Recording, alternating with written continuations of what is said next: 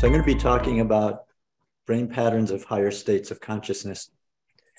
And talking about higher state, we need a criteria. What makes one state higher than another? And I'd like to propose these three criteria that the sense of self should be more expanded, the subject object relationship, how we, the experiencer, interact with the environment, should be fundamentally different, and physiological patterns should be distinct. I just want to pause here um, in the chat and to, with some of the other speakers. The question came up why is all this attention on the brain? Um, isn't it really diminishing uh, the great richness and depth of insights on consciousness from the Eastern traditions? And I'd like to suggest that um, higher states are embodied experience, they're a lived experience, they're not imagined. So if they're real, what should happen is there should be real, distinctly different patterns of physiology. So, not to collapse the change in consciousness to a change in brain functioning or DNA or, or neurotransmitter, but rather the physiological measure gives us a, a mirror of what might be going on.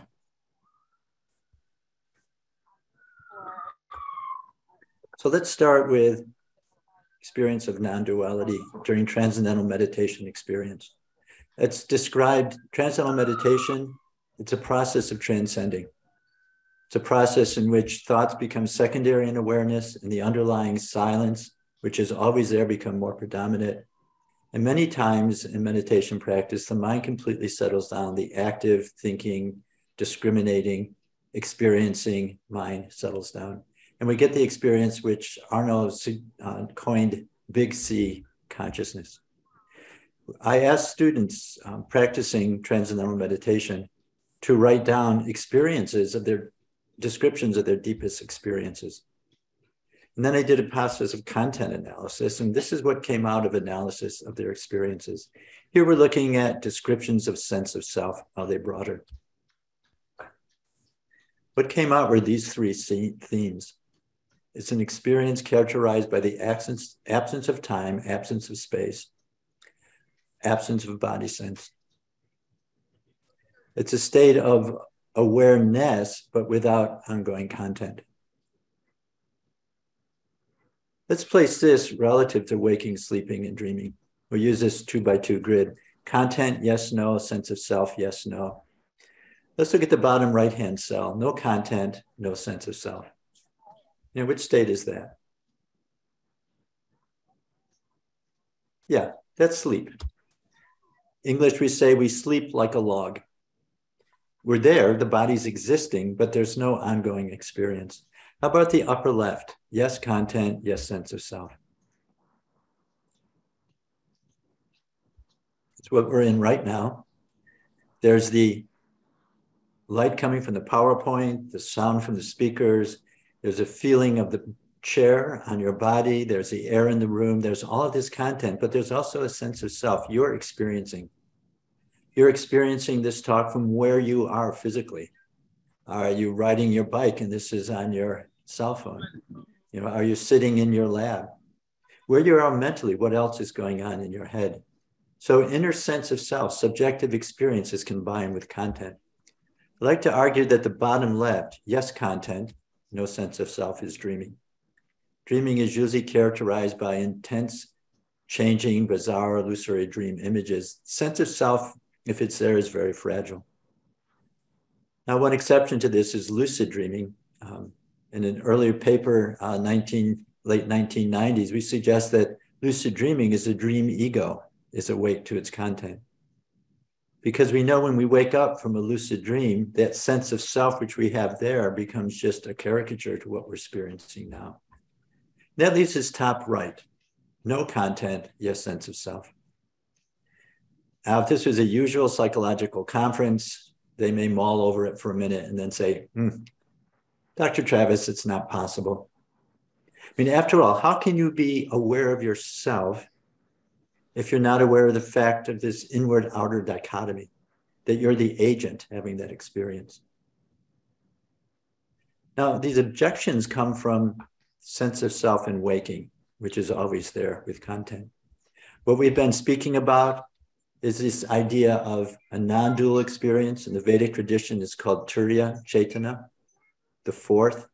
It's a non-dual experience in which just self-awareness is there. This is what Ono called the big C consciousness. It's awareness, it exists, but it's not involved in the activity of waking, sleeping, or dreaming.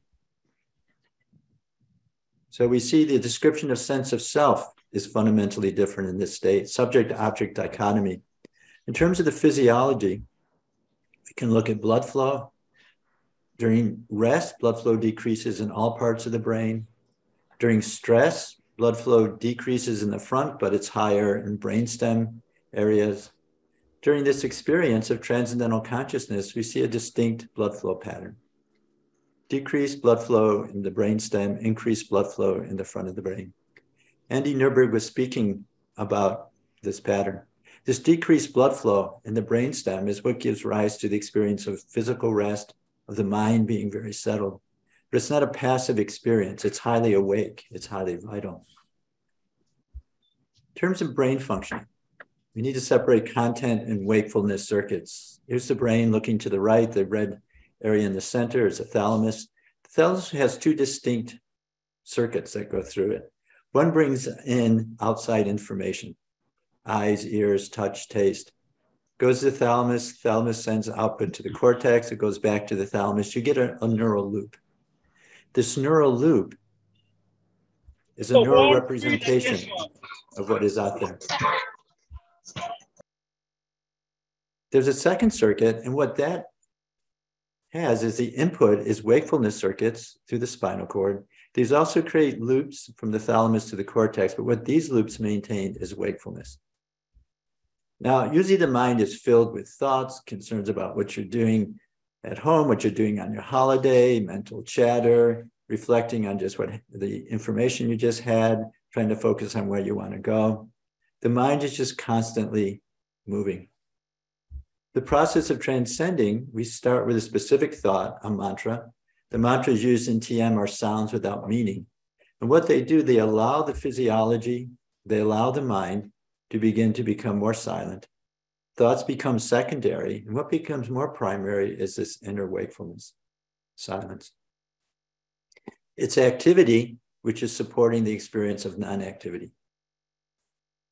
It's activity because it's a lived experience, but it's supporting the experience of non activity. There's a lot of information here. It takes a tenth of a second for a signal to go from the thalamus up to the cortex and back. And so these circles go up 10 times per second. And that gives rise to the brain waves that we see during this state. Also, because they're being coordinated from the core, from the thalamus, this, the EEG signatures are coherent. It just means that there's a stable phase relationship. Here's an example of TM during tran transcendental meditation practice. Each line is from a different point on the brain. Each column is a second. We can look here, and here we see, let's count it. It's going up one, two, three, four, five, six, seven, eight, nine. So this is a nine second per, cycle per second wave. Notice it's the same in all of the leads. That's because the whole brain is settling down to this experience of silence, of wakefulness. There's that independent analysis, guiding of behavior, and so on. Also, notice the waves are going up and down together. This is high coherence. And this is a major marker of the state of Turiya Chaitanya. So, this state this non dual experience, transcendental consciousness, experience of the self, fits the criteria for being a stable state of consciousness, unique from waking, sleeping, and dreaming. What happens over time due to neuroplasticity is this state can become integrated with ongoing waking, ongoing sleeping, ongoing dreaming. This non dual state can turn into a stable trait or stable stage. In the Vedic tradition, it's called Turiya Chaitanya, um, or cosmic consciousness. And this is a first stable state of enlightenment in which the self, the individual ego, is now identified with its universal nature. It's outside of the field of change. Here's a description uh, from Maharishi Mahesh Yogi in his um, commentary on the Gita. I'll let you read it.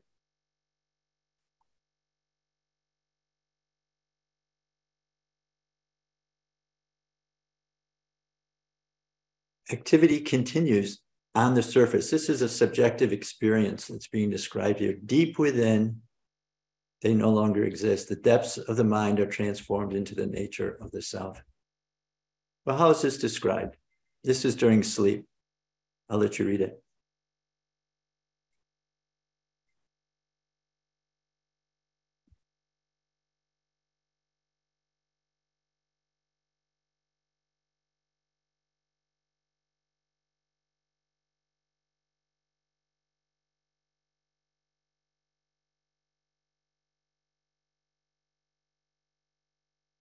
Notice the English words they use. There's a continuum there. It's not like I go away and come back. I'm awake, waiting for the body to wake up. The individual ego is not thinking and processing. It's not a stream of individual thoughts. There's a continuum, that continuum of awareness, which is that deep silence inside in the previous quote. And this person teaches at the middle school that's associated with Maharishi International University, where I'm based. Notice the concrete image they come up with. It's like the fizzing on top of a soda. It's there and becomes active, something to identify with. This is talking about life in enlightenment. The eyes open, sensory information comes in, thoughts come up, the body acts, and so on. When I'm sleeping, it's like the fizzing goes down. And by inference, the soda remains. The soda is just always there. Now, what does this look like in terms of brain functioning? If this is an embodied experience, which it is,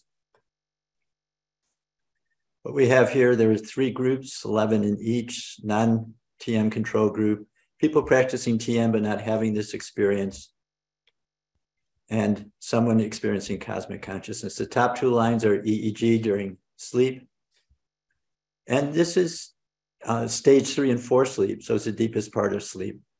And what you notice is this low activity here. This is the delta activity where the body is repairing itself. Down here, we have someone sleeping, but with inner wakefulness. The term often used is called witnessing sleep. But we need to be careful because witnessing sounds like an activity, observation, some doing. It's not. Witnessing is more a noun.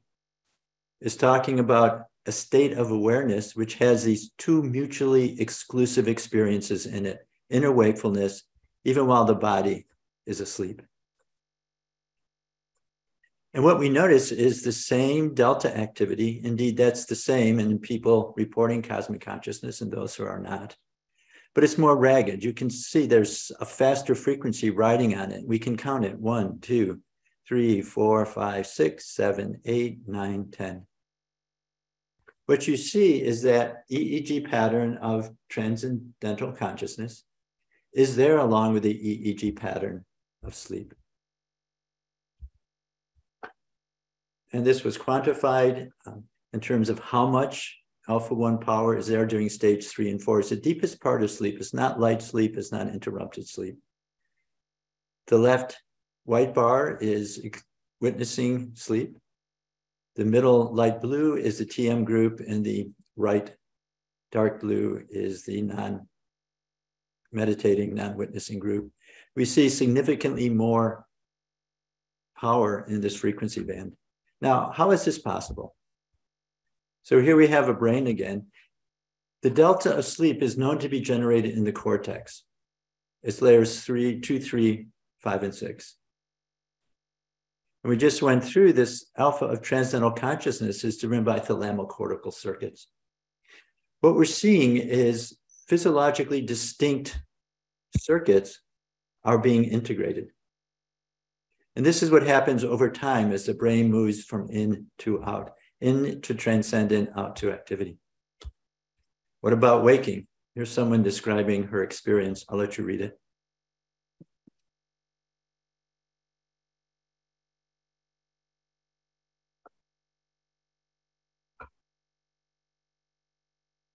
I am this being channel underneath. We looked at this gave people computer tasks to perform. We compared those people reporting cosmic consciousness, again, a TM control group, not experiencing cosmic consciousness, a non meditating control group. And we found three EEG variables distinguish the groups. First, broadband frontal coherence. So the front, the part of the brain that's integrating all the activity. Broadband, we see higher coherence in alpha. That's the coherence of just inner being transcending, along with beta and gamma because they're doing tasks. We also found significantly more alpha amplitude. They seem to be living life more from inner awareness and not from outer awareness. Gamma fast activity is tied with the attention going out, processing the outside world. We also saw different patterns of brain preparatory response. We gave people a choice and simple paired reaction time task.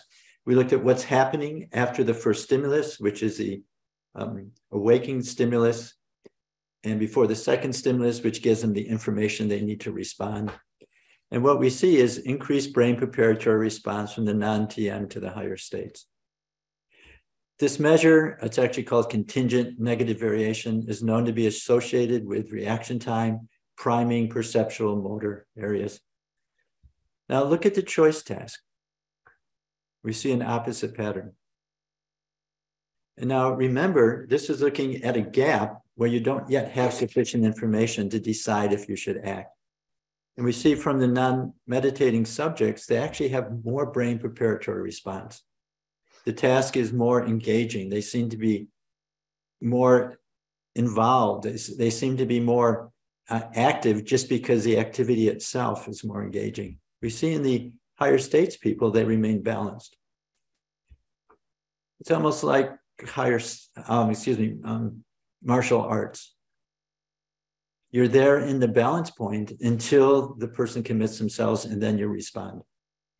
We're seeing that in the brain of these people reporting cosmic consciousness. The brain isn't activating, isn't getting the mind and body ready to go until it needs to be there. It's a much more efficient functioning. And this led us to our next series of research, which was okay, we have this nice marker of people reporting higher states.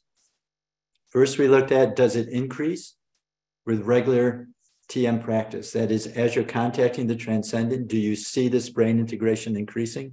And we find it did over three months and six months with college students, with working adults.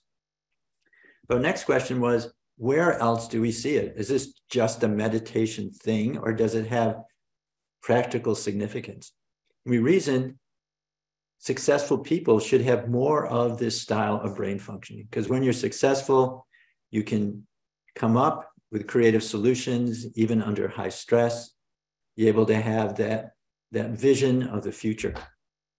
So we looked at athletes, 66 athletes involved in world games, national games, Olympics.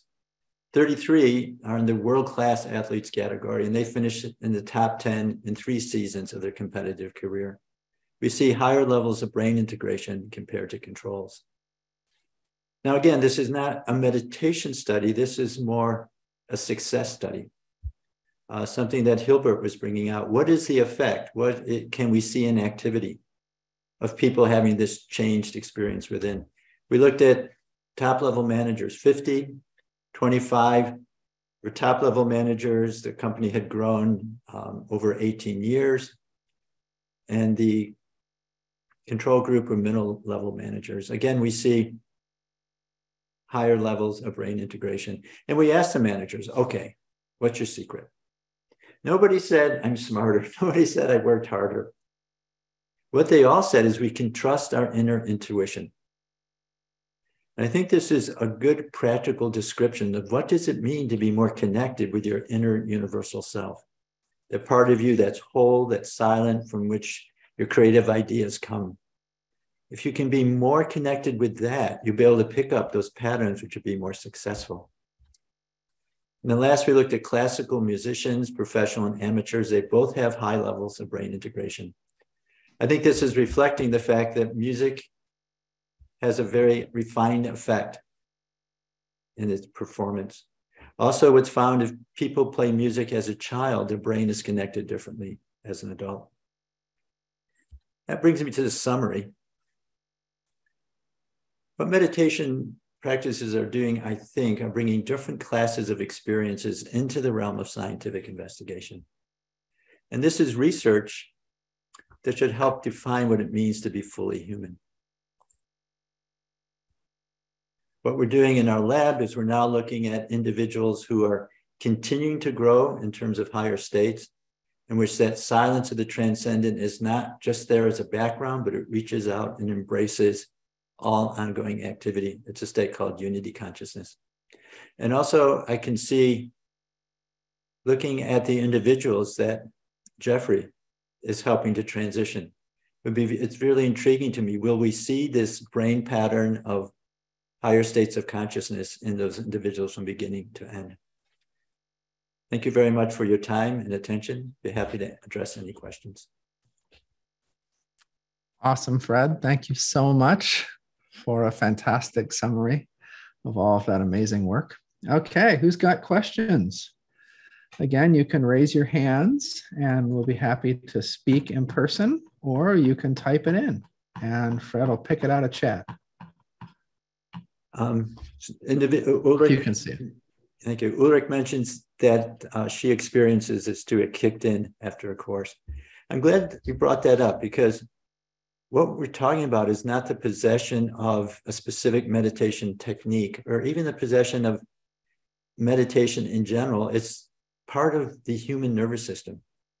Part of the human nervous system be able to tie the deep inner sense of self along with activity. And it's just a matter, from my perspective, of culturing the physiology.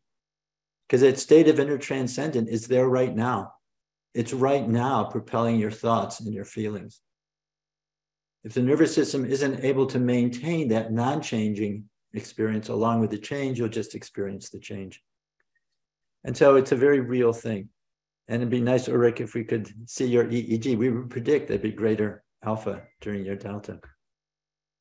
Studying pilots, um, yes. Um, I agree. The the places that we can look to see where is this higher experience higher human potential being expressed to look in high functioning people across the trades. Look at the, the medical profession during this COVID period, uh, able to handle a huge amount of, of pressure, of uncertainty, of sometimes abuse from their patients. You know, how are they able to do it? I've, I've looked at police officers as well. Now, this might rise an eyebrow because most people think police officers you know they're just power people. They're trying to trying to push people around or like that. This is part of work i did with the fbi who were interested in helping the wounded warriors helping the their officers there who were injured psychologically from the toxic nature of what they were looking at what they were experiencing and one of the people there uh, was a sergeant in Colorado, and she looked at, for her dissertation, police officers who felt police work was a spiritual calling. And I went and looked at their EEG, and their EEG patterns were very similar. They were higher than any of the success that I showed you in, in the athletes, um, in the musicians and managers. They were very similar to those people who've been practicing TM for 20 years or more in experiencing cosmic consciousness. That uh, they, the reason they were able to see that wholeness, even in the midst of police work, I think is because the brain, which is the interface between us and the world, was allowing them to perceive the world in that way.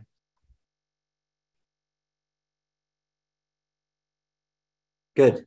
Uh, thank you, Gino. Yes, I was very interested in what you were mentioning about a database.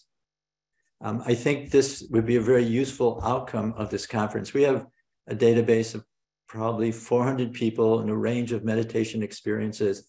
And I think getting this knowledge out of the silo of my brain center and more into a larger area where we can begin to appreciate more globally how these experiences are unfolding.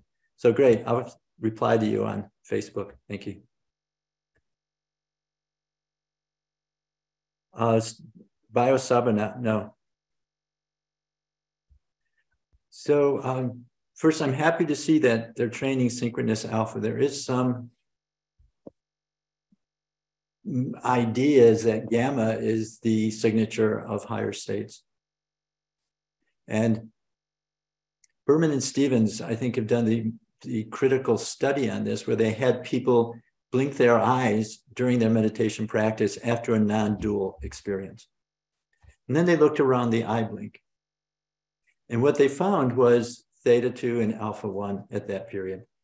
And then they randomly took periods, that's his one second periods throughout the whole meditation period. And there they found higher gamma EEG. And what they concluded is gamma may be the procedure rather than the mark of the experience itself.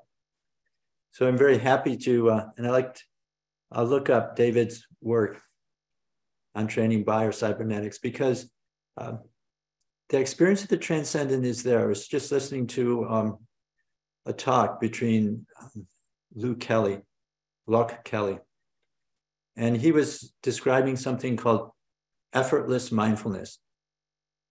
And that what he did is, after practicing mindfulness, he's a mindfulness teacher for decades he just stopped trying and he found the whole experience was different. And I think this is key because the only way to get to experience of non-activity is a procedure has to be automatic. If you're trying to do anything, any evaluation, any manipulation, what it's doing, it's focusing attention, it's not allowing awareness to just transcend.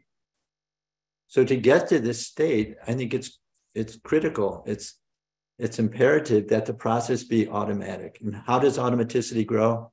It can be in the structure of the meditation technique that is, well, that's how TM works, where the attention, where the mind is going, it goes to that inner field of silence, of fullness. It's attractive to the mind. You don't have to push it there. You just have to let go, and the mind naturally transcends. You can also make any task that you're doing automatic by overly rehearsing it, by doing it over and over and over and over and over.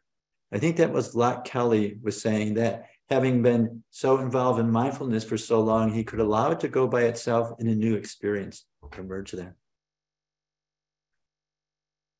Damaged nervous systems. Um, we have looked at trauma, uh, specifically PTSD. Um, we haven't done the, um, the brain measure of that. But what's found is, I've been talking about the brain, it's a bit as though the brain is this disembodied thing. the brain is situated in the body. And when we're having this experience of restful alertness in the brain, what's happening is the body, inner intelligence, all the feedback mechanisms in the body are waking up. And it's found to be very powerful for allowing the body to remove the effect of trauma uh, to remove the effect of past experiences. Maybe can I specify my question? Yes, please. Thank you for interrupting me. Um, I'm wondering if you've experienced or witnessed experiences where people had gone into such transcendental states that their nervous system couldn't actually handle the amount of shifts that were happening in their body, the connections that were happening. Um, and if it's like if there's any study been done around the like electrum the electricity the electro, actual electrical currents that go through the nervous system and the brain um like the le- I, I guess my question is kind of all over the place but just the that's level good. of intensity of experience and if that's ever actually like shut down the system of of higher consciousness it's a very sensitive question, Anna. Thank you for bringing it up. Um, it can happen because the experience of the transcendent is very powerful. With transcendental meditation, it's it's not you creating the experience, you allow the experience to unfold. So what happens is you get the, the mind opens up, you go to an experience of inner silence, you get as much as you can handle. And then what happens is then the body starts to integrate it. And so then we come out of that experience and again we go back in. But for instance, people who are on retreats, and so they do more than meditate twice a day, they may, may meditate four times a day or longer. There can be some issues with mental stability. And so you don't want to practice uh, TM when you're out in the world, only when you're under in a retreat where someone is there. And also want to be sure to get lots of physical activity. Because again, these experiences are lived experiences, and you have one experience of inner unboundedness, expansion, and then you want to dive into activity. You want to be as focused and active as you can be. And what it's doing, it's bringing that silence in.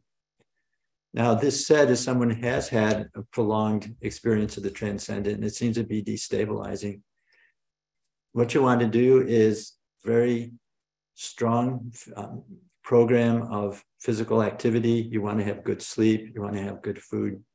And talk to a meditation teacher in your tradition.